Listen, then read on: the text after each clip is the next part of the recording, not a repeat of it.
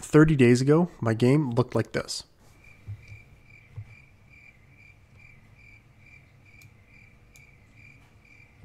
And after 30 days of learning shaders, the game now looks like this.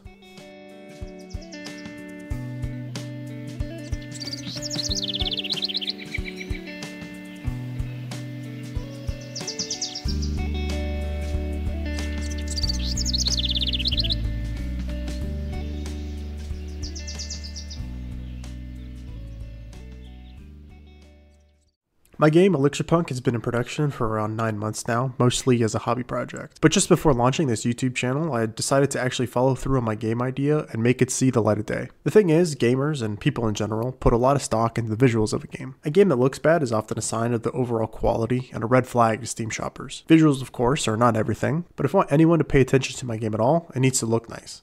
And the best way to do that is to spend the entire month of June learning pixel art, practicing it, and drawing intricate pieces of nicely shaded art that will make the game stand out. Just kidding, it's shaders.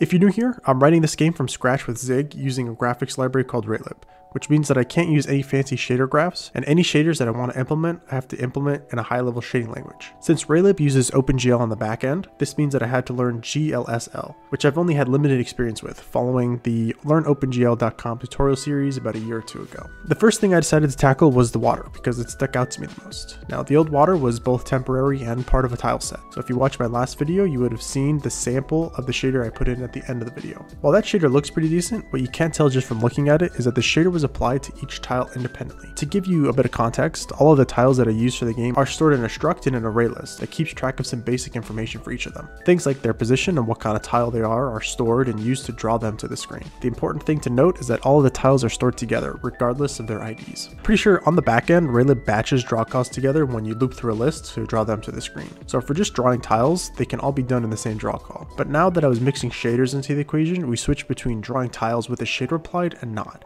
making it so that they can no longer be batched together as efficiently. To remedy this and to give more control over how the shader looks as a whole, I removed the water from the tile itself and the shader from the step where we loop through our tiles. The tile map now looks like this, and the water is drawn on a single quad that is the whole size of the map. This is done before the tiles are drawn over the quad, given the effect of the water still being underneath the tiles. Now, this does introduce a new problem, that being overdraw, especially since the shader is applied to the whole quad. This is something that I'm going to tackle in later videos when I dive into performance optimization the end result is almost identical, but lets me control how often I want the noise textures to repeat across the quad using the scale variable, where I want the noise textures to be drawn, and other things to make the water look less repetitive.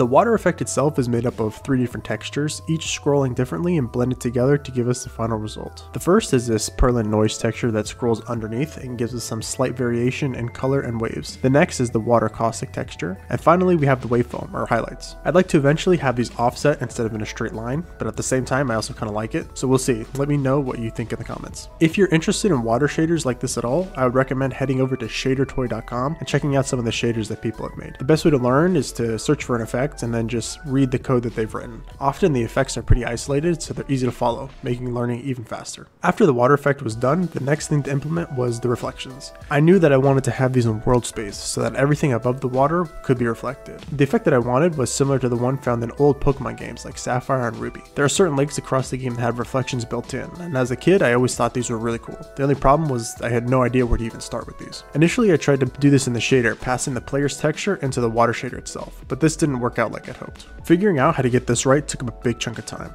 as I really had no idea how to go about implementing something like this. My searches eventually led me to a few different tutorials from implementations in Unity and Godot, and I was able to piece together the idea that I could use a render texture. At first, this was confusing to me as I had no idea what a render texture was, but after doing some research, it made a lot of sense. If you're like me 30 days ago and you're not familiar with a render texture, it's basically just a texture that you can draw to. The Raylib example that uses this is a simple paint app. You draw to a render texture so that it can later be saved as an image on your computer, which I think illustrates the use case perfectly in most cases, but is rather limited if you only think about using it like that. In the Raylib example, they don't clear the frame after it's done, so each mouse movement gets drawn to the texture. However, if you clear the frame, you're basically left with a blank texture that you can draw to like you'd expect, except now it's a texture and we can pass it to the GPU, and from there there we can apply shaders to it as a whole. So that's exactly what I did. I first just draw a huge quad over the entire scene, flipping the y coordinate.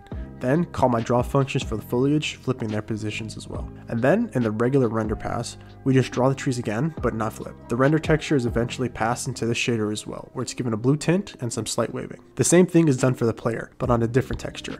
This time, the texture follows the camera because the camera tracks the player. So that way the texture moves with the player and the positions are updated accordingly. Now one thing I haven't figured out yet is how to get this to work with the camera zooming in or zooming out, or the camera position clamping to the edges of the map. So when the player reaches the top or bottom of the map, the reflection just decides to go his own way in life. Once the reflections were in place, I moved on to the wind shader. This one is relatively straightforward. This was about my 20th or so day experimenting with GLSL and learning about shaders, so I kind of understood what was going on at this point. We offset the UVs in the fragment shader by some amount using a sine wave. Each tree has this hash function attached that offsets the sine wave slightly based on the sprite's position. That way, each tree sways slightly differently. Now, this effect can definitely be improved and it's not perfect, but the sine wave is super satisfying. And once I finalize the tree sprite, I think it's going to look even better. The next thing I did was add this particle effect. The particle system is super bare bones right now. We just have a struct for an emitter that we can attach to a position in the world and a slice of particles that it reuses over and over once their lifetimes are done. The final piece to the puzzle was the tall grass, and this one is actually pretty interesting. A while ago, I made a re-implementation for the lazy flood fill algorithm that I use for generating the terrain that I'm calling a lazy deque. This data structure is an amalgamation of a deque plus some extra fields specific to the lazy flood fill algorithm so that I can reuse it across my codebase. For example, it is used for both the trees and the tall grass, and I can adjust the parameters like how many patches to spawn, where to spawn them, and how fast they decay. This will most likely get adapted as the game changes, and it should be easy to add new fields as I need them. As an example, we have the big flower patches of what I'm calling rainbow weed here, tightly grouped together. And on the edges of the water tiles, with more spacing in between them, we have these things I'm calling fan weeds. The same algorithm is used at both spots with only some slight adjustments. The shader applied to the rainbow weed is very similar to the wind shader used for the trees, but with some variation on how high the effect is applied to. The biggest change is that I rewrote a lot of my code for my sprite renderer to be able to work with texture atlases to help alleviate having to constantly switch between textures. This, however, means that the wind shader sometimes bleeds over into other tiles, which I believe can be clamped to their position in the texture atlas, but I haven't figured out how to do yet. For now, I'm pretty happy with how the game is beginning to look. That about wraps up the last 30 days of working on Elixir Punk. If you're not subscribed already, subscribe, like the video, and let me know how you think the game is looking. I'm especially interested in feedback around the art style and visuals, since this will be a commercial product. I want the art style to be appealing at first glance so that when you see it, it stands out to you. So please give me your thoughts in the comments. Next, I want to get to work on the building system, which I've been looking forward to for quite some time. After that's implemented, I feel like the game is really going to start to come together.